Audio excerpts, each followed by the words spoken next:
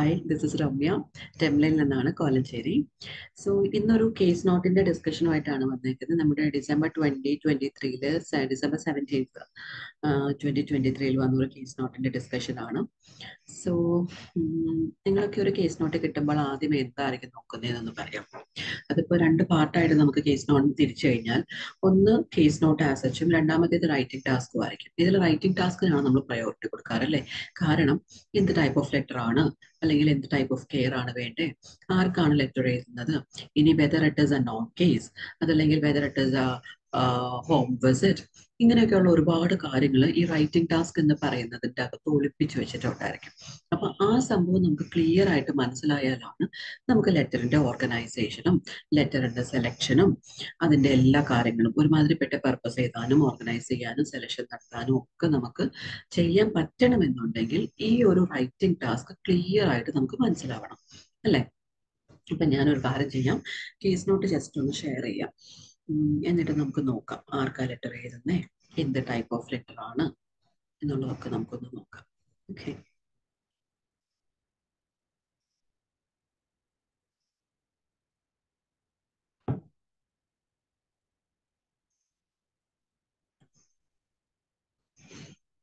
കാണാൻ പറ്റുന്നുണ്ടെന്ന് വിചാരിക്കുന്നു. സോ നമുക്ക് ആദ്യം റൈറ്റിംഗ് ടാസ്ക് നോക്കാം അല്ലേ? റൈറ്റിംഗ് ടാസ്കിൽ എന്നതാ പറയുന്നത് just see the writing task. അതിനകത്ത് എന്താ പറയുന്നത് using the information given in the case note write a letter to Miss Marian Fernandez okay അപ്പൊ നമ്മൾ ആർക്കാ ലെറ്റർ എഴുതുന്നത് മരിയൻ ഫെർണാണ്ടസ് അല്ലേ അയാൾ ആരാന്നാ പറയുന്നത് manager of care home care ഹോമിലെ മാനേജറായ മരിയൻ ഫെർണാണ്ടസിനാണ് നമ്മൾ ലെറ്റർ എഴുതുന്നത് ഇനി ഈ ലെറ്ററിൽ എന്നതൊക്കെയാ ചെയ്യാൻ പറഞ്ഞേക്കുന്നത് നോക്കാം In your letter, briefly outline Mr. Ferrick's post-operative care, medications and past history.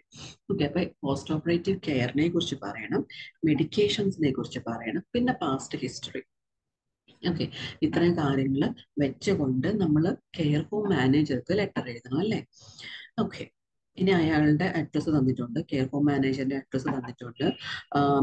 Marian Fernandez care home manager Vanhood care home three Blackwood streets Old Town ഇതാണ് അഡ്രസ്സ് തന്നേക്കുന്നത്. അപ്പൊ റൈറ്റിംഗ് ടാസ്കിൽ നിന്ന് നമുക്ക് എന്ത് മനസ്സിലായി? നമ്മൾ ലെറ്റർ എഴുതാൻ പോകുന്നത് കെയർ ഹോം മാനേജർക്കാണ് എന്തെല്ലാം കാര്യങ്ങൾ ഇൻക്ലൂഡ് ചെയ്യണം? പോസ്റ്റ് ഓപ്പറേറ്റീവ് കെയർ വേണം. മെഡിക്കേഷൻസ് വേണം. പിന്നെയോ പാസ്റ്റ് ഹിസ്റ്ററി വേണം. ഇത്രയും കാര്യം നമുക്ക് മനസ്സിലായി അല്ലേ? ഇനി നമുക്ക് ചെയ്യേണ്ടത് എന്താണ്? അതിന് മാളി തന്നേക്കുന്നത്. അത് മേ ബി റെക്കമെൻഡേഷൻസ് എന്നായിരിക്കും ചിലത് തന്നേക്കുന്നത്. ചിലതിന്റെ അകത്ത് പ്ലാൻ ആയിരിക്കാം. ചിലതിന്റെ അകത്ത് ഡിസ്ചാർജ് പ്ലാൻ ആയിരിക്കാം. വോട്ട് എവർ ഇറ്റ് ഇസ് ആ സംഭവമാണ് നമ്മൾ അടുത്തത് നോക്കട്ടെ. അതിനകത്ത് എന്താ പറയുന്നത് ഫോളോ അപ്പ് അപ്പോയിൻമെന്റ് ഉണ്ട്. എന്താന്നാ പറഞ്ഞേക്കുന്നത് ഇരുപത്തിയൊന്ന് ഒന്ന് രണ്ടായിരത്തി ഇരുപത്തിരണ്ടിൽ ഒരു ഫോളോ അപ്പ് അപ്പോയിൻമെന്റ് ഉണ്ടെന്ന് പറഞ്ഞിട്ടുണ്ട്. പിന്നെ പറഞ്ഞേക്കുന്നത് എന്താണ്? ചെക്ക് പ്രോഗ്രസ് പ്രോഗ്രസ് ചെക്ക് ചെയ്യണം. അവിടെ ഒരു ക്വസ്റ്റ്യൻ മാർക്ക് ഉണ്ട്. ക്വസ്റ്റ്യൻ മാർക്ക് എന്ന് വെച്ച് കഴിഞ്ഞാൽ എന്താണ് സാധാരണ? ക്വസ്റ്റ്യൻ മാർക്ക് എന്ന് പറഞ്ഞാൽ അതൊരു എന്താ പറയുക കൺഫേം അല്ലാത്ത അല്ലെങ്കിൽ ഡൗട്ട്ഫുൾ ആയിട്ടുള്ള ഒരു സിറ്റുവേഷനിലാണ് നമ്മൾ യൂഷ്വലി ക്വസ്റ്റ്യൻ മാർക്ക് കാണാറ്. എന്നിട്ട് തന്നേക്കുന്ന ബൂട്ട് നോക്കണം. ഓക്കെ പിന്നെ heel weight wearing heel white wearing okay അപ്പൊ ഈ രണ്ട് കാര്യങ്ങളും നമുക്ക് പ്രോഗ്രസ്സിൽ നോക്കേണ്ട കാര്യമാണ്. അത് ശ്രദ്ധിക്കണം. അതുകൊണ്ടായിരിക്കണം ക്വസ്റ്റ്യൻ മാർക്ക് തന്നേക്കുന്നത് ഇനി നമുക്ക് തൊട്ട് മുകളിൽ തന്നേക്കുന്നത് എന്താണെന്ന് നോക്കിക്കഴിഞ്ഞാൽ അത് എയ്റ്റ് ജാനുവരി ട്വന്റി ട്വന്റി ടൂൽ റെഡി ഫോർ ഡിസ്ചാർജ് എന്നാണ് പറഞ്ഞേക്കുന്നത്. എന്നിട്ട് ഡിസ്ചാർജ് പ്ലാൻ തന്നിട്ടുണ്ട്. അതിനകത്ത് തന്നേക്കുന്നത് എന്തൊക്കെയാണ്? ലിമിറ്റഡ് മൊബിലിറ്റി ആണ്. പിന്നെയോ ഒക്യുപ്പേഷണൽ തെറാപ്പിയുടെ അസസ്മെന്റ് നടത്തിയിട്ടുണ്ട്. ഇതിനു വേണ്ടിയിട്ടാണ് for living independent before return home okay അപ്പൊ ഒക്യുപ്പേഷണൽ തെറാപ്പിസ്റ്റ് ഓൾറെഡി പേഷ്യന്റിനെ ഒന്ന് അസസ് ചെയ്തിട്ടുണ്ട്. എന്നിട്ട് തിരിച്ചു വീട്ടിലേക്ക് പോയി ഒറ്റയ്ക്ക് താമസിക്കാൻ പറ്റുമോ എന്നുള്ള കാര്യം ശ്രദ്ധിച്ചിട്ടുണ്ട്. പിന്നെ വൂണ്ട് ഡ്രസ്സിംഗ് ഡെയിലി നടത്തിയിട്ടുണ്ട്. ചെക്ക് പ്രോഗ്രസ് ലെവൽ അപ്പൊ നമുക്ക് വൂണ്ട് ഡ്രസ്സിംഗ് നടത്തിയിട്ടുള്ളതല്ല കേട്ടോ ഫുഡ് ഡ്രസ്സിങ് ഡെയിലി വേണം. അതിനോടൊപ്പം തന്നെ പ്രോഗ്രസ്സും ചെക്ക് ചെയ്യണം എന്നാണ് പറഞ്ഞേക്കുന്നത്. ഇനി പറയുന്നത് പേഷ്യന്റ് ഭയങ്കര കീനാണ് to return home as soon as possible patient അപ്പോൾ അവിടെ സ്റ്റേ ചെയ്യൊന്നും വേണ്ട. എത്രയും പെട്ടെന്ന് വീട്ടിൽ പോകണം എന്നുള്ള വിഷയം ഒരു ആഗ്രഹമാണ്. അടുത്ത് തന്നേക്കുന്നത് കണ്ടിന്യൂ റെഗുലർ മെഡിക്കേഷൻസ് പിന്നെയോ continue leg elevation okay medication medicine continue ചെയ്യണം ലെഗ് എലിവേഷൻ കണ്ടിന്യൂ ചെയ്യണം. അത് രണ്ട് വീ രണ്ട് വീക്സ് ആണ് പറയുന്നത്. പില്ലോ വെച്ചിട്ടാണ് അവർ പറയുന്നത് ലെഗ് എലിവേഷൻ പിന്നെ ദെൻ ആസ് ടോളറേറ്റഡ് പിന്നെ അത് ടോളറേഷൻ അനുസരിച്ച് ലെഗ് എലിവേഷന്റെ നമുക്ക് കുറച്ചും കൂട്ടി വോട്ടെവർ ഇറ്റ് അത് നമുക്ക് ചെയ്യാൻ പറ്റും. അപ്പൊ ഇത്രയും മനസ്സിലായി അല്ലേ? ഇനി നമുക്ക് കേസ് നോട്ടിന്റെ സ്റ്റാർട്ടിങ്ങിലേക്ക് പോകും. സ്റ്റാർട്ടിങ്ങിൽ പോയിട്ട് നമുക്ക് മനസ്സിലാക്കണം. പേഷ്യന്റിന്റെ അവസ്ഥ എന്താണ്? പേഷ്യന്റ് എന്താണ് വന്നത് ഇങ്ങനെയുള്ള കാര്യങ്ങൾ കൂടെ മനസ്സിലാക്കണ്ടേ? അപ്പൊ നമുക്ക് കേസ് നോട്ടിനെ കുറിച്ച് കംപ്ലീറ്റ് ഒരു ഐഡിയ കിട്ടും. അപ്പോൾ ഇതിനകത്ത് സ്റ്റാർട്ടിംഗ് പറയണം assume that date is eight January twenty twenty two എന്നിട്ട് പറയുന്നത് you are nurse in surgical ward of general hospital responsible for the care of mister Juan Ferrein who was admitted three days ago for bunionectomy അപ്പോൾ ഈ പേഷ്യന്റിനെ admit ആക്കിയത് മൂന്ന് ദിവസം മുന്നെയാണ്. എന്നാത്തിന് വേണ്ടിയിട്ടാണ് ഗുനിനെക്ടോമി നടത്താൻ വേണ്ടിയിട്ടാണ്.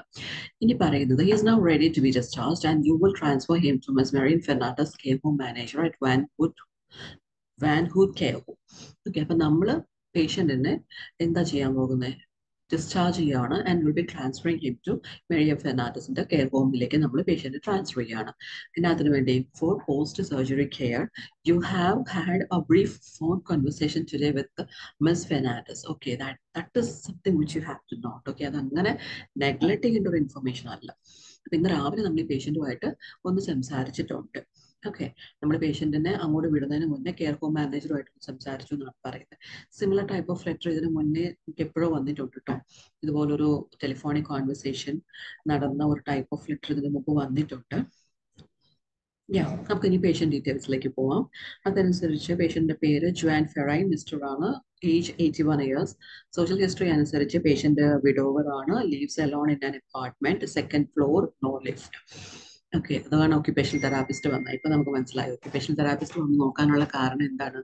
ഈ പേഷ്യന്റ് വിഡോവറുമാണ് ഒറ്റയ്ക്കുമാണ് താമസിക്കുന്നത്. അതിന്റെ ഒപ്പം തന്നെ സെക്കൻഡ് ഫ്ലോറിലാണ് പേഷ്യന്റ് താമസിക്കുന്നതും. പിന്നെയോ ലിഫ്റ്റും ഇല്ല. അങ്ങനത്തെ ഉള്ള അവസ്ഥയുള്ളത് കൊണ്ടാണ് നമ്മുടെ ഓക്യുപേഷണൽ തെറാപ്പിസ്റ്റ് വന്നത്. അടുത്തത് എന്താ പറയുന്നത്? റിട്ടയർഡ് ക്ലർക്ക് ആണ്. ഓക്യുപേഷൻ റിട്ടയർഡ് ക്ലർക്ക് ആണ്. One son visits weekly okay. ഒരു മകനുള്ളൂ. Then comes the medical history അവിടെ എന്നതൊക്കെയാ പറയുന്നത്? ലെഫ്റ്റ് ഹാലസ് വാൽഗസ് പറഞ്ഞിട്ടുണ്ട്. അത് ട്വന്റി ട്വന്റി വണ്ണിൽ hypertension two thousand three osteoarthritis nineteen nineties G P അപ്പോയിൻമെന്റ് എടുത്തിട്ടുണ്ട്. കോർട്ടിസ്റ്റെറോയിഡ് നയൻ മന്ത്സ് കഴിക്കാൻ പറഞ്ഞിട്ടുണ്ട്. Pain increase in left hallux valgus G P refer to surgeon okay അപ്പൊ ലെഫ്റ്റ് ഈ ഹാലസ് വാൽ hallux valgus വന്നേക്കുന്നത് ട്വന്റി ട്വന്റി വണ്ണിൽ pain കൂടിയപ്പോഴാണ് ചെയ്തേക്കുന്നത് അപ്പൊ ജി പി അപ്പോയിൻമെന്റ് എടുത്തിട്ടുണ്ട്. കോർട്ടിസ്റ്റെറോയിഡ് ഒൻപത് മാസം കഴിക്കാൻ പറഞ്ഞിട്ടുണ്ട്. പെയിൻ ഇൻക്രീസ് ചെയ്തു. അങ്ങനെ വന്നപ്പോൾ ജി പി എന്ത് ചെയ്തു? റഫോ ടു സർജൻ ഓക്കെ അപ്പൊ മെഡിക്കൽ ഹിസ്റ്ററി ഏകദേശം ഒരു ഐഡിയ കിട്ടിയില്ല. ഹൈപ്പർ ടെൻഷൻ ഉണ്ട് ഓസ്റ്റിയോ അത്രൈറ്റസ് ഉണ്ട്. പിന്നെ ഉള്ളതാണ് ലെഫ്റ്റ് ഹാലസ് വാൽഗസ് അത് ട്വന്റി ട്വന്റി വണ്ണിലാണ് വന്നിരുന്നത്. അപ്പൊ നമ്മൾ ജി പി അപ്പോയിന്റ്മെന്റ് എടുത്ത് കോർട്ടിസ്റ്റോയിഡ് നയൻ മന്ത്സ് കഴിക്കാൻ പറഞ്ഞു. പെയിൻ പക്ഷെ ഇൻക്രീസ് ചെയ്തു. അതുകൊണ്ട് തന്നെ ജി പി എന്ത് ചെയ്തു? റെഫർ ടു സർജറി ഇനി മെഡിക്കേഷൻസ് ആണ് തന്നേക്കുന്നത് മെഡിക്കേഷൻസിൽ perindopril eight M G one stage അത് അഡ്മിഷന്റെ സമയത്ത് കൊടുത്തതാണ്. പിന്നെ ഫൈവ് ജാനുവരി ട്വന്റി ട്വന്റിയിൽ ലെഫ്റ്റ് ഗുനിയനറ്റോമി നടത്തി. Okay five January twenty twenty tool left bunionectomy നടത്തി. ഓക്കെ ഇത്രയും മനസ്സിലായെന്ന് വിചാരിക്കുന്നു. ഇനി അടുത്തത് മാനേജ്മെന്റ് ആണ്. മാനേജ്മെന്റിൽ എന്താ പറയുന്നത് ആന്റി പൈററ്റിക്സ് ആൻഡ് ആന്റി ത്രോംബോലിറ്റിക്സ് ഉണ്ട്. കൊറൈൻ ബോൺ ട്രൈസിങ് ആൻഡ് ബാൻഡേജസ് കൊടുത്തു. പോസ്റ്റ് ഓപ്പറേറ്റീവ് ഷൂ ഷൂസ് കൊടുത്തിട്ടുണ്ട്. ലെഗ് എലിവേഷൻസ് രണ്ട് പില്ലോസിലാണ് പറഞ്ഞിരിക്കുന്നത്. പക്ഷെ നമുക്ക് താഴെ നമ്മൾ നോക്കിക്കഴിഞ്ഞപ്പോൾ ഒരു പില്ലോയാണ് പറഞ്ഞിട്ടുള്ളൂ കേട്ടോ അപ്പൊ രണ്ട് പില്ലോയിൽ വെച്ചാണ് ലെഗ് എലിവേഷൻ നടത്തിയിരുന്നത്. പിന്നെ പറയുന്നത് mobility reviewed by physiotherapist post operative exercise കാര്യങ്ങളൊക്കെ പറഞ്ഞിട്ടുണ്ട്. ഓക്കെ അപ്പൊ ഫിസിയോതെറാപ്പിസ്റ്റ് വന്ന് കണ്ട് പോസ്റ്റ് ഓപ്പറേറ്റീവ് എക്സസൈസസിന്റെയും കാര്യങ്ങളെല്ലാം പറഞ്ഞിട്ടുണ്ട്. ഇനി അടുത്തത് എന്താണ്? ഏഴാം തീയതി. ഏഴാം തീയതി ആയി കഴിഞ്ഞപ്പോൾ പേഷ്യന്റിന്റെ പ്രോഗ്രസ് ഒക്കെ ഉണ്ട്. പെയിൻ ഒക്കെ ഡിക്രീസ് ചെയ്തു. പിന്നെ എന്നെ പറഞ്ഞു? Paracetamol five hundred M G four times പറഞ്ഞിട്ടുണ്ട്. പിന്നെ വൈറ്റ് ബിയറിങ് ഇത്രയാണ് പറഞ്ഞിരിക്കുന്നത്. പിന്നെ അന്ന് സൺ വിസിറ്റ് ചെയ്തിട്ടുണ്ട്? No it's not son visited son arranged ആണ് കേട്ടോ post operative convalescence re convalescence okay recovering വേണം കേട്ടോ പോസ്റ്റ് ഓപ്പറേറ്റീവ് റിക്കവറിംഗ് ഉണ്ട് പിന്നെ റീ കൺസേൺസ് ആണ്. And recommendations discussed with care home manager on phone okay അപ്പൊ son സംസാരിച്ചിട്ടുണ്ട് കെയർ ഹോം മാനേജറുമായിട്ട് ഫോണിൽ ഓക്കെ പോസ്റ്റ് ഓപ്പറേറ്റീവ് കൺവൽസൻസ് ആണ്. റിക്കവറി പോസ്റ്റ് ഓപ്പറേറ്റീവ് റിക്കവറിനെ കുറിച്ചിട്ടും അതിന്റെ കൺസേൺസിനെ കുറിച്ചിട്ടും റെക്കമെൻഡേഷനെ കുറിച്ചിട്ടും കെയർ ഹോം മാനേജറുമായിട്ട് ടെലിഫോണിക് കോൺവെർസേഷൻ ഉണ്ടായിട്ടുണ്ട്. എട്ടാം തീയതി ആയി കഴിഞ്ഞപ്പോൾ റെഡി ഫോർ ഡിസ്ചാർജ് ബാക്കിയൊക്കെ നമ്മൾ കണ്ടതാണ് അല്ലേ അപ്പൊ ടോട്ടൽ ഈ ഒരു കേസ് നോട്ട് വായിച്ചു നോക്കി കഴിഞ്ഞപ്പോൾ നിങ്ങൾക്ക് എന്താണ് ഒരു ഐഡിയ കിട്ടിയേക്കുന്നത്? ഈ ഒരു പേഷ്യന്റിനെ കുറിച്ചിട്ടുള്ള നിങ്ങൾക്ക് കിട്ടിയേക്കുന്ന ഒരു ഐഡിയ പറയാമോ? പേഷ്യന്റ് രണ്ട് മൂന്ന് ദിവസം മുന്നേ വന്നു. ഈ പേഷ്യന്റിന് ഇങ്ങനെ ഒരു ഹിസ്റ്ററി ഉള്ളതായിരുന്നു. എന്നായിട്ടാണ് പേഷ്യന്റ് വന്നത്? ഈ പേഷ്യന്റ് വന്നേക്കുന്നത് പെയിൻ ആയിട്ടാണ് അല്ലേ ലെഫ്റ്റ് ഹാലസ് വാൽഗസിൽ പെയിൻ ഇൻക്രീസ് ചെയ്തു. ട്വന്റി ട്വന്റി വണ്ണിൽ പേഷ്യന്റ് തുടങ്ങിയ പെയിൻ ആണ്. അപ്പൊ ജി പിയുടെ അടുത്ത് പറഞ്ഞ് കോർട്ടിസ്റ്ററോയിഡ്സ് ഒൻപത് മാസം കഴിച്ച പേഷ്യന്റ് ആണ്. പക്ഷെ പെയിൻ ഇൻക്രീസ് ചെയ്ത് കഴിഞ്ഞപ്പോൾ ജി പിനെ കണ്ട് ജി പി എന്ത് ചെയ്തു? സർജനെ റെഫർ ചെയ്തു. അങ്ങനെ നമ്മുടെ അടുത്ത് വന്നു. അങ്ങനെ നമ്മൾ അഞ്ചാം തീയതി ലെഫ്റ്റ് ബുനിയനറ്റോമി നടത്തി. അത് കഴിഞ്ഞിട്ടുള്ള മാനേജ്മെന്റ്സ് എല്ലാം പറഞ്ഞിട്ടുണ്ട്. പാരക്ടിറ്റ്സ് ആന്റി പോളിറ്റിക്സ് കൊറൈൻ ബൂൺ ഡ്രസ്സിങ് ബാട്രീച്ചസ് പോസ്റ്റ് ഓപ്പറേറ്റീവ് ഷൂട്ട്സ് ലെഗ് എലിവേഷൻ ഇങ്ങനെയുള്ള എല്ലാ കാര്യങ്ങളും നമ്മൾ ചെയ്തു. ഫിസിയോതെറാപ്പിസ്റ്റ് വന്നു ഓക്യുപേഷണൽ തെറാപ്പിസ്റ്റ് വന്നു. എന്നിട്ട് ഒക്യുപേഷണൽ തെറാപ്പിസ്റ്റ് ഹൗസ് അസസ്മെന്റ് നടത്തി. Physiotherapist post operative exercise programmes ചെയ്തു. അങ്ങനെ അത്രയധികം കാര്യങ്ങൾ നമ്മൾ ചെയ്തിട്ടുണ്ട്. ഇനി അത് കഴിഞ്ഞിട്ട് സെവൻത്ത് ആയി കഴിഞ്ഞപ്പോൾ പേഷ്യന്റിന് പ്രോഗ്രസ് ഉണ്ട്. പെയിൻ ഒക്കെ ഡിക്രീസ് ചെയ്തു. പാരസെറ്റാമോൾ ഫോർ ടൈംസും വെയിറ്റ് ബിയറിംഗ് ആണ് പറഞ്ഞിരിക്കുന്നത്. സൺ എന്ത് ചെയ്തു? സൺ അറേഞ്ച് ചെയ്തേക്കുന്നതാണ് ഈ പറഞ്ഞ പോസ്റ്റ് ഓപ്പറേറ്റീവ് എന്നതാണ് റിക്കവറിങ്ങിനെ കുറിച്ചിട്ടുള്ള കൺസേൺസും റീ കൺസേൺസും റെക്കമെൻഡേഷൻസും ഒക്കെ കെയർ ഹോം മാനേജറുമായിട്ട് ഡിസ്കഷനും നടത്തി. ഓക്കെ ഇനി നമുക്ക് എന്നാ ചെയ്യണ്ടേ? നമ്മൾ പേഷ്യന്റിനെ ഡിസ്ചാർജ് ചെയ്തിട്ട് കെയർ ഹോമിലേക്ക് മാറ്റുവാണ്. ഓക്കെ ഡിസ്ചാർജ് ചെയ്ത് കെയർ ഹോമിലേക്ക് മാറ്റുവാണ്. അപ്പൊ ഇത് എന്ത് ടൈപ്പ് ഓഫ് ലെറ്റർ ആയിരിക്കും? ട്രാൻസ്ഫർ ലെറ്റർ ആണോ? ഡിസ്ചാർജ് ലെറ്റർ ആണോ? എന്ത് ടൈപ്പ് ഓഫ് ലെറ്റർ ആയിരിക്കും ഇത്? ഇത് എന്തായാലും ഒരു ഡിസ്ചാർജ് ലെറ്റർ ആണ് അല്ലേ? ഇതൊരു ഡിസ്ചാർജ് ലെറ്റർ ആണ്. ട്രാൻസ്ഫർ ചെയ്യുന്നുണ്ട് പേഷ്യന്റിന്റെ കെയർ ഹോമിലേക്ക് ഒബ്വിയസ്ലി ട്രാൻസ്ഫർ നടക്കുന്നുണ്ട്. അറ്റ് ദ സെയിം ടൈം ഈ പേഷ്യന്റിന് ഡിസ്ചാർജ് കൂടി ചെയ്യുവാണ്. അപ്പോൾ നമുക്ക് എങ്ങനെ നമ്മുടെ ഇൻട്രൊഡക്ഷൻ എഴുതാൻ പറ്റും? ഇൻട്രൊഡക്ഷൻ ചെയ്തേണ്ട കാര്യങ്ങളെല്ലാം നമ്മൾ കിട്ടിയില്ലേ? പേഷ്യന്റിനെ പുണ്യനെറ്റോമി നടത്തി എന്നുള്ളത് പേഷ്യന്റിനെ ഡിസ്ചാർജ് ചെയ്യുന്നു എന്നുള്ളത് പിന്നെ എന്താ എങ്ങോട്ടേക്കാ വിടുന്നത് എന്നുള്ളത് പർപ്പസ് എന്താന്നുള്ളതും ഒക്കെ നമുക്ക് മനസ്സിലായി അല്ലേ? അപ്പൊ നമുക്ക് എങ്ങനെ എഴുതാൻ പറ്റും ഇൻട്രൊഡക്ഷൻ ഇൻട്രൊഡക്ഷൻ പല രീതിയിലാണ് നമ്മൾ എഴുതാറ് അല്ലേ ഐ എം റൈറ്റിംഗ് ടു വെച്ച് എഴുതുന്നവരുണ്ട് പേഷ്യന്റിന്റെ പേര് വെച്ച് എഴുതുന്നവരുണ്ട് ഇറ്റ് ഓൾ ഡിപ്പെൻസ് പർപ്പസ് വെച്ച് എഴുതുന്നവരുണ്ട്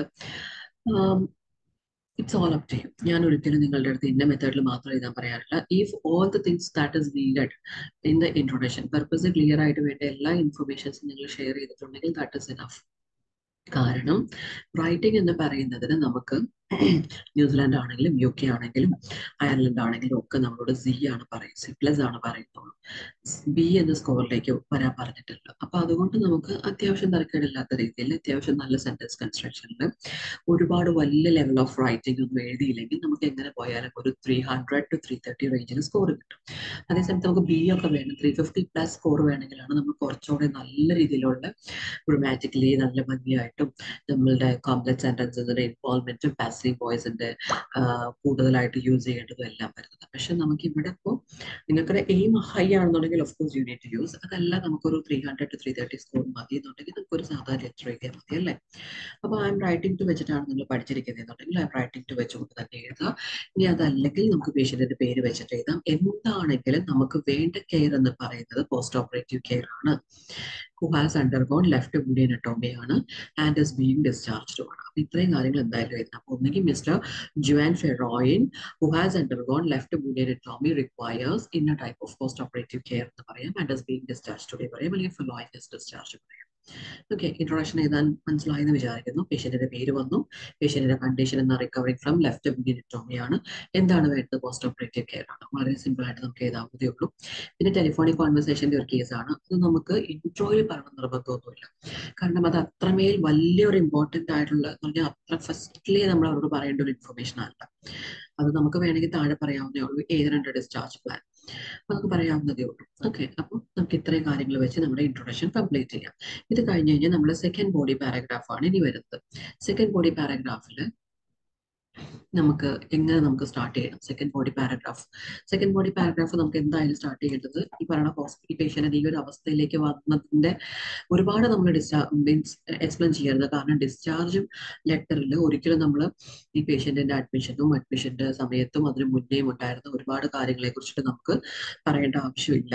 കാരണം ഓൾറെഡി പേഷ്യന്റിന് ആ ഒരു പെർട്ടിക്കുലർ കണ്ടീഷന്റെ ട്രീറ്റ്മെന്റ് കഴിഞ്ഞ് either in the recovering stage അല്ലെങ്കിൽ റിക്കവറി കഴിഞ്ഞ സ്റ്റേജ് ഈ ഏതെങ്കിലും ഒരു സ്റ്റേജിൽ നിൽക്കുന്ന പേഷ്യന്റ് ആയിരിക്കും. അപ്പൊ പിന്നെ നമുക്ക് അതിന് മുന്നേ ഉള്ള ഇൻഫോർമേഷൻസിനെ കുറിച്ചിട്ട് നമുക്ക് ഒരുപാട് ഇലാബറേറ്റ് ചെയ്ത് നമ്മൾ എഴുതേണ്ട ആവശ്യം വരുന്നില്ല. ഓക്കെ അപ്പൊ നമുക്ക് എങ്ങനെ എഴുതാം എന്ന് ചോദിച്ചു കഴിഞ്ഞാൽ നമുക്ക് പേഷ്യന്റിന്റെ പേര് വെച്ചിട്ട് നമുക്ക് വേണമെങ്കിൽ സ്റ്റാർട്ട് ചെയ്യാം. അതല്ലെങ്കിൽ ഇന്ന ദിവസമാണ് പേഷ്യന്റിനെ നമ്മൾ അഡ്മിറ്റ് ചെയ്തത് എന്ന് പറയാം. ഇതിന്റെ അകത്ത് പേഷ്യന്റിനെ അഡ്മിറ്റ് ആക്കിയിരിക്കുന്ന ദിവസം എന്ന് പറയുന്നത് എന്നാണ്. ഫിഫ്ത്ത് ജാനുവരിയിൽ ലെഫ്റ്റ് ബുനിയനറ്റോമി നടത്തിയെന്നാണ് പറഞ്ഞിരിക്കുന്നത് അല്ലേ? ഫിഫ്ത്ത് ജാനുവരിയിൽ നടത്തി നടത്തിയെന്ന് പറഞ്ഞിട്ടുണ്ട്. അപ്പം നമുക്ക് പേഷ്യന്റിനെ അഡ്മിറ്റ് ആക്കിയത് അന്നാന്ന് ഇതർ പറയാം. അഡ്മിറ്റ് ആക്കിയെന്നുള്ളത് പറഞ്ഞിട്ടില്ല. ഇവേ അഡ്മിഷൻ ഡേറ്റ് ഈ ഒരു കേസ് നോട്ട് കംപ്ലീറ്റ് അല്ല കേട്ടോ. ഞാനിത് സ്റ്റുഡൻസിന്റെ കയ്യിൽ നിന്ന് കളക്ട് ചെയ്ത ഇൻഫർമേഷൻ വെച്ചിട്ടുണ്ടാക്കിയ ഒരു കേസ് നോട്ടാണ് അതുകൊണ്ട് കുറച്ച് ഇൻഫോർമേഷൻസ് ഒക്കെ ഇതിനകത്ത് ലാക്ക് ചെയ്യുന്നുണ്ടായിരിക്കും. ഇത് സ്റ്റുഡൻസിന്റെ ഒരു ഐഡിയ വെച്ച് ഞാൻ ഉണ്ടാക്കിയ ഒരു കേസ് നോട്ട് മാത്രമാണ്. അപ്പൊ അതുകൊണ്ട് കംപ്ലീറ്റ്ലി അന്ന് വന്ന കേസ് നോട്ടിലുള്ള എല്ലാ ഇൻഫോർമേഷൻസും ഇതിനകത്ത് ഉണ്ടാവും എന്ന് എക്സ്പെക്ട് ചെയ്യരുത് കേട്ടോ ഏകദേശം ഒരു ഐഡിയ കിട്ടും അത്രയേ ഉള്ളൂ. ഓക്കെ അപ്പൊ നമുക്ക് രണ്ടാമത്തെ പാരഗ്രാഫ് നമ്മൾ സാധാരണഗതിയിൽ എഴുതുമ്പോൾ ഈ twenty twenty വണ്ണിലാണ് left hallux valgus twenty twenty one pain കൂടി ആ കാര്യങ്ങളൊക്കെ ഉണ്ട്. അപ്പൊ നമുക്ക് വേണമെങ്കിൽ അത് വെച്ചിട്ട് പറയാം. അത് വെച്ച് സ്റ്റാർട്ട് ചെയ്യാം. നിർബന്ധമില്ല. പക്ഷെ ഞാൻ personally I don't agree with that one അത്രയും നമുക്ക് എക്സ്പ്ലെയിൻ ചെയ്യേണ്ട ആവശ്യമില്ല. പേഷ്യന്റിന്റെ ഇന്ന ദിവസം സർജറിക്ക് വേണ്ടി അഡ്മിറ്റ് ആക്കി എന്ന് പറയാം. അതല്ലെങ്കിൽ പോസ്റ്റ് ഓപ്പറേറ്റീവ്ലി നമ്മൾ പറഞ്ഞാൽ മതി. ഓക്കെ പോസ്റ്റ് ഓപ്പറേറ്റീവ്ലി പേഷ്യന്റിന് കാരണം ഇത് ഡിസ്ചാർജ് ലെറ്റർ ആണ്. അതിന് മുന്നേ വാട്ടവർ കാരണം നമ്മൾ ഓൾറെഡി പറഞ്ഞു ലെഫ്റ്റ് മുന്നിനറ്റോമി നടത്തുന്നത് ഇൻട്രൊഡക്ഷനിൽ പിന്നെ നമ്മൾ സെക്കൻഡ് പാരഗ്രാഫിൽ ആ ഇൻഫർമേഷൻസ് മുഴുവനും ഇൻട്രോഡ് മീൻസ് ഇൻക്ലൂഡ് ചെയ്യേണ്ട ആവശ്യം വരുന്നില്ല. അപ്പൊ അതുകൊണ്ട് തന്നെ നമ്മൾ പോസ്റ്റ് ഓപ്പറേറ്റീവ് കേസിനെ കുറിച്ച് ഡിസ്ചാർജ് ലെറ്ററിൽ റെഫറൽ ലെറ്ററിൽ ഇതെല്ലാം ഇൻക്ലൂഡ് ചെയ്യണം കേട്ടോ ഡിസ്ചാർജ് ലെറ്ററിൽ നമുക്ക് അത്രയും ഇൻഫർമേഷൻസ് പറയേണ്ട ആവശ്യമില്ല. അതുകൊണ്ട് തന്നെ പോസ്റ്റ് ഓപ്പറേറ്റീവിൽ വെച്ച് സ്റ്റാർട്ട് ചെയ്യുവാണെങ്കിൽ അതാണ് ഞാൻ പ്രിഫർ ചെയ്യുന്നത്. പോസ്റ്റ് ഓപ്പറേറ്റീവ്ലി എന്താണ് അവസ്ഥ? പേഷ്യന്റിന്റെ ഹാസ് ബി മാനേജ്ഡ് വിത്ത് ഫൂൺ ഡ്രസ്സിംഗ് ഉണ്ട് ആന്റി ത്രോംബോളിറ്റിക്സ് ഉണ്ട് ടാബ്ലറ്റ് ടാബ്ലറ്റ്സ് കൊടുത്തിട്ടുണ്ട് codeine followed by oral paracetamol ഇത്രയൊക്കെയാണ് ചെയ്തേക്കുന്നത്. അപ്പോൾ അതെല്ലാം അങ്ങനെ തന്നെ എഴുതുവാണെങ്കിൽ would be better paracetamol five hundred M G എന്നാണ് പറഞ്ഞേക്കുന്നത്. അപ്പോൾ അത് five hundred M G four times daily അതിന്റെ കൂടെ തന്നെ ആസ് വെൽ ആസ് നമ്മൾ എന്താ ചെയ്തത്? Physiotherapy with weight bearing exercises ആണ് വന്നേക്കുന്നത്. അപ്പൊ ഇത് മുഴുവനും കൂടെ കൂടി നമുക്കൊരു കോമ്പൗണ്ട് അല്ലെങ്കിൽ കോംപ്ലക്സ് സെന്റൻസിൽ എഴുതാവുന്ന ഇൻഫർമേഷനേ ഉള്ളൂ പോസ്റ്റ് ഓപ്പറേറ്റീവിൽ ഒറ്റ സെന്റൻസ് ആയിട്ട് എഴുതാം അതല്ലെങ്കിൽ പോസ്റ്റ് ഓപ്പറേറ്റീവിൽ രണ്ട് സെന്റൻസ് ആയിട്ട് എഴുതാം. പോസ്റ്റ് ഓപ്പറേറ്റീവിൽ നടന്ന കാര്യങ്ങളെല്ലാം കൂടി ഒന്ന് പറയാം. പോസ്റ്റ് ഓപ്പറേറ്റീവിലി എന്തൊക്കെയാണ് has managed with wound dressing പിന്നെയോ ആന്റി ത്രോബ്ലാറ്റിക്സ് ഉണ്ട് tablet codeine followed by oral paracetamol five hundred M G four times daily okay ഇന്ന അഡീഷനോ അഡീഷണലിയോ എന്താണ് physiotherapy with weight bearing exercise were also commenced okay അത് പറയാം. പിന്നെ എന്താണ് പറഞ്ഞേക്കുന്നത് പേഷ്യന്റിനോട് ലെഗ് എലിവേഷൻ ആണ് പറഞ്ഞേക്കുന്നത് അല്ലേ? നിങ്ങൾക്ക് കാണാമല്ലോ അല്ലെ? ലെഗ് എലിവേഷൻ പറഞ്ഞിട്ടുണ്ട് പേഷ്യന്റിന്റെ ഓക്കെ ലെഗ് എലിവേഷൻ ഓക്കെ കണ്ടല്ലോ ലെഗ് എലിവേഷൻ ടു ലോസ് ഒക്കെ പറഞ്ഞിട്ടില്ലേ? അപ്പൊ നമുക്ക് ആ ഒരു ഇൻഫർമേഷൻ ആണ് ഇനി അടുത്തത് ആഡ് ചെയ്യേണ്ടത്. അവിടെ എന്താണ് ചെയ്യേണ്ടത്? He has been advise to elevate his left leg with two pillows for two weeks then as tolerated അത് നമ്മൾ എവിടുന്ന് എടുത്ത് ലാസ്റ്റ് നമ്മളോട് പറഞ്ഞിട്ടുണ്ട് ഡിസ്ചാർജ് പ്ലാനിൽ എന്താണ് പറഞ്ഞേക്കുന്നത്? ലെങ്ത് എലിവേഷൻ ടു വീക്സിലേക്ക് വേണം. പിന്നെ പില്ലോ വെച്ചിട്ട് പിന്നെ ദെൻ ആസ് ടോളറേറ്റഡ് അപ്പൊ നമുക്ക് ആ ഒരു ഇൻഫർമേഷൻ ഇവിടെ തന്നെ ആഡ് ചെയ്യാൻ പറ്റും. അത് ഡിസ്ചാർജ് പ്ലാനിൽ അല്ലെങ്കിൽ പിന്നീട് പറയണമെന്നില്ല കാരണം ഓൾറെഡി ഈ പോസ്റ്റ് ഓപ്പറേറ്റീവ്ലി പേഷ്യന്റിന് ലെഗ് എലിവേഷന്റെ കാര്യം പറഞ്ഞിട്ടുണ്ട് അല്ലേ? അപ്പൊ അതിന്റെ കൂടെ തന്നെ നമുക്ക് ഡിസ്ചാർജ് പ്ലാനിൽ ആസ് ടോളറേറ്റഡ് കുറയ്ക്കുന്നതും കൂട്ടുന്നതും കാര്യം പറഞ്ഞിട്ടുണ്ട്. അതുകൂടി അങ്ങ് ഇൻക്ലൂഡ് ചെയ്ത് ചെയ്തുവാണെങ്കിൽ അതൊരു പ്രോബ്ലം സൊല്യൂഷൻ മെത്തേഡിലേക്ക് വരും. ഓക്കെ അപ്പൊ നമുക്ക് എങ്ങനെ എഴുതാൻ പറ്റും? He has been advise to elevate his left leg with pillows for two weeks and then as tolerated എന്ന് പറയാം. ഇനി എന്താണ് ചെയ്യേണ്ടത്? ഇനി അടുത്തത് പറയുന്നത് സെവൻത്ത് ജാനുവരിയിൽ പേഷ്യന്റിന് പ്രോഗ്രസ് ഉണ്ട്. ഡിക്രീസ്ഡ് പെയിൻ ആണ്. പാരസെറ്റാമോൾ വെയിറ്റ് ബിയറിംഗ് നമ്മൾ ഓൾറെഡി പറഞ്ഞിട്ടുണ്ട്. അപ്പൊ ഇത് മാത്രമല്ലേ പറയാനുള്ളൂ? അപ്പൊ അത് നമുക്ക് പറയാം. നമുക്ക് കണക്റ്റീവ് വെച്ചിട്ട് വേണമെങ്കിൽ സബ്സിക്വന്റീവ് എല്ലാം വെച്ചിട്ട് പറയാം. പാരന്റിലെയോ സബ്സിക്വന്റിലേക്ക് നമുക്ക് ഉപയോഗിക്കാം. അതല്ലെങ്കിൽ നമ്മൾ അടുത്ത സെന്റൻസ് ആയിട്ട് പറയാം.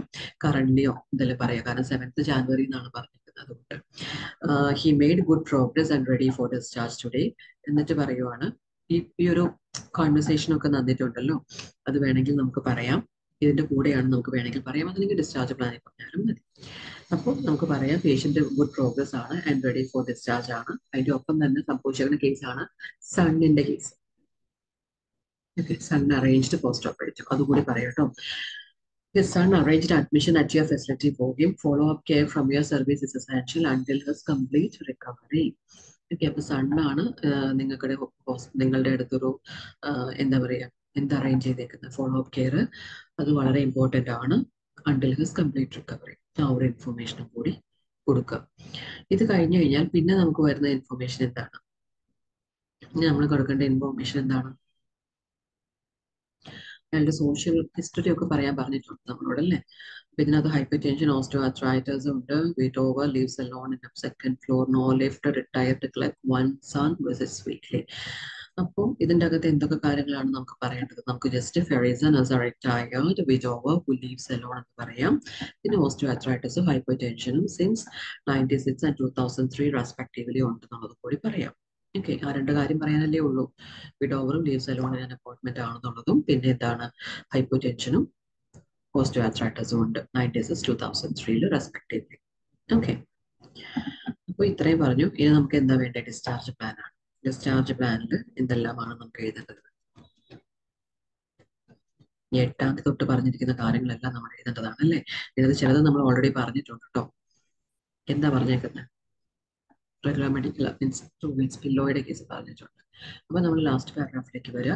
അവിടെ നമുക്ക് എങ്ങനെ എഴുതാം? ഇറ്റ് വുഡ് ബി എപ്രീഷിയേറ്റഡ് അല്ലെ? ഇഫ് യു കൂടെ എന്താണ്? Provide wound dressing wound dressing ആണ് പറഞ്ഞേക്കുന്നത്. വൂൺ ഡ്രസ്സിങ് എത്ര നാളാണ് പറഞ്ഞേക്കുന്നത്? വൂൺ ഡ്രസ്സിങ് ഡെയിലി ആണ്. ചെക്ക് പ്രോഗ്രസ് ലെവൽ ഓക്കെ അപ്പൊ അത് എഴുതാം. എങ്ങനെ എഴുതാം? If you could provide wound dressing for miss Ferroin and check progress level as well as continues medications okay ഇത്രയും കാര്യങ്ങൾ നമുക്ക് ഒന്നിച്ച് പറയാം. പിന്നെ എന്താ ഒക്യുപേഷണൽ തെറാപ്പിസ്റ്റിന്റെ കേസ് പറഞ്ഞിട്ടുണ്ട്.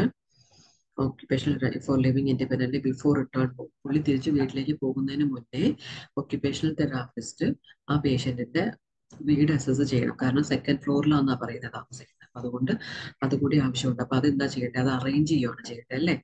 അപ്പൊ kindly arrange him and occupational therapist എന്തിനു വേണ്ടിയിട്ട്? To assess ability to live independent as he is came to return പോകും പുള്ളിക്ക് പെട്ടെന്ന് as soon as possible return പോകണം എന്നല്ലേ പറഞ്ഞു. അപ്പൊ അതുകൊണ്ട് ഒരു ഒക്യുപേഷണൽ തെറാപ്പിസ്റ്റിനെ വെച്ച് പേഷ്യന്റിന്റെ ലിവിങ് പ്ലേസ് ഒന്ന് ആക്സസ് ചെയ്തിട്ട് വേണ്ട കാര്യങ്ങൾ ചെയ്ത് കൊടുക്കണം. അപ്പൊ അതിനുവേണ്ടി നമ്മൾ ഇത്രയും പറഞ്ഞാൽ മതി. അറേഞ്ച് ചെയ്യാം ഒരു occupational തെറാപ്പിസ്റ്റിന് okay to assess his ability to live independent as he keen to return ഇനി അടുത്തത് എന്താണ്? വേറെ ഏതാണ് പറഞ്ഞേക്കുന്നത്. ലിമിറ്റഡ് മൊബിലിറ്റി ഉണ്ട്. Check progress boot heel weight bearing ഇത്രയാണ് പറഞ്ഞേക്കുന്നത്. ഈ ഒരു ഇൻഫർമേഷൻ ആണ് കൊടുക്കട്ടെ അത് നമുക്ക് എൻകറേജ് ചെയ്യുവാണ് ചെയ്യേണ്ടത് അല്ലെ? ഈ കാര്യങ്ങളൊക്കെ വിയർ ചെയ്യാനാണ്. അപ്പൊ ആ ഇൻഫർമേഷൻസ് നമുക്ക് പേഷ്യന്റിനെ കൊണ്ട് എൻകറേജ് ചെയ്യിക്കുകയാണ് വേണ്ടത്. അപ്പോൾ കൈൻഡ്ലി എൻകറേജ് അല്ലെങ്കിൽ എൻകറേജ് എന്ന് പറഞ്ഞപ്പോൾ സ്റ്റാർട്ട് ചെയ്യാം. എല്ലായിടത്തും പ്ലീസ് നോട്ടും പ്ലീസും കൈൻഡ്ലിയും വെർത്ത് നോട്ടും വേണമെന്നില്ല. നമുക്ക് ഡയറക്റ്റ് പറഞ്ഞാലും മതി. അപ്പൊ എൻകറേജ് ഹിം എന്തിനു വേണ്ടിയിട്ടാണ് എൻകറേജ് ചെയ്യേണ്ടത്? Encourage him to use surgical boot while weight bearing on him okay weight bear ചെയ്യുമ്പോൾ പുള്ളി സർജിക്കൽ ബൂട്ട് ഉപയോഗിക്കണം. കാരണം ഫിസിയോതെറാപ്പിസ്റ്റ് വെയിറ്റ് ബിയറിംഗ് എക്സസൈസിനെ കുറിച്ച് പറഞ്ഞിട്ടുണ്ട്.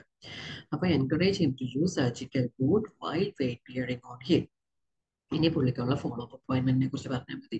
ഞാൻ നേരത്തെ ഒരു വീഡിയോ ചെയ്തിട്ടുണ്ടായിരുന്നു. റെക്കമെൻഡേഷൻ പാരഗ്രാഫിൽ എങ്ങനെയാണ് നിങ്ങൾ ഇൻഫർമേഷൻസ് അറേഞ്ച് ചെയ്യണമെന്നുള്ളത് അതിനകത്ത് ഞാൻ എടുത്തു പറഞ്ഞൊരു കേസാണ് നമുക്ക് ഫോളോ അപ്പ് അപ്പോയിന്റ്മെന്റ് പോലെയുള്ള എന്തെങ്കിലും ഇൻഫർമേഷൻസ് ഉണ്ടെങ്കിൽ അത് ടുവാർഡ്സ് ദി എൻഡേ പറയാൻ പോലും ആദ്യം പറയരുത്.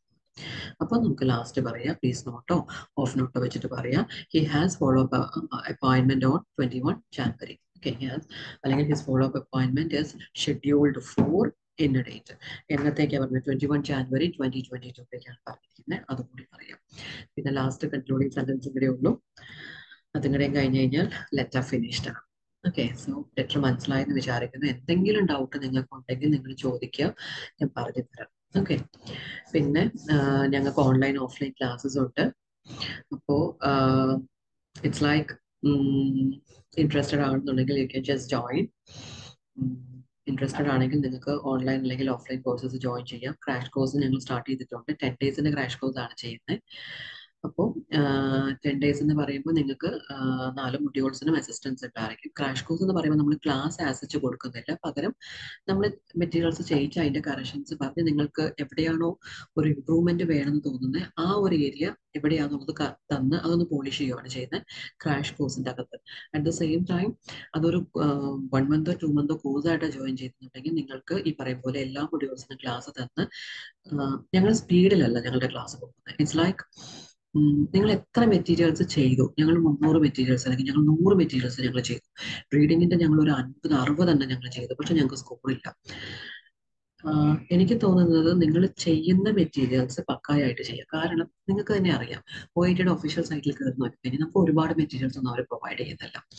പിന്നെ നമ്മൾ ചിലപ്പോൾ മേ ബി നമ്മൾ അൺഒഫീഷ്യൽ ആയിട്ടുള്ള മെറ്റീരിയൽസ് ആയിരിക്കും നമ്മൾ പ്രാക്ടീസ് ചെയ്യുന്നത്. അങ്ങനത്തെ പ്രാക്ടീസ് പ്രാക്ടീസ് ചെയ്യുമ്പോഴുള്ള പ്രശ്നം എന്ന് പറഞ്ഞാൽ ഏതാ you be getting high score നിങ്ങൾക്ക് ഭയങ്കര സ്കോർ ആയിരിക്കും പ്രാക്ടീസ് ചെയ്യുമ്പോൾ കിട്ടുന്നത്. പക്ഷെ എക്സാമിലേക്ക് വരുമ്പോൾ സ്കോർ കിട്ടത്തില്ല. അതിന്റെ ഒരു റീസൺ നിങ്ങൾ യൂസ് ചെയ്യുന്ന മെറ്റീരിയൽസ് പ്രോപ്പർ ആയിരിക്കില്ല. അതല്ല എന്നുണ്ടെങ്കിൽ നിങ്ങൾക്ക് കിട്ടിയ കറക്ഷൻസ് പ്രോപ്പർ ആയിരിക്കില്ല.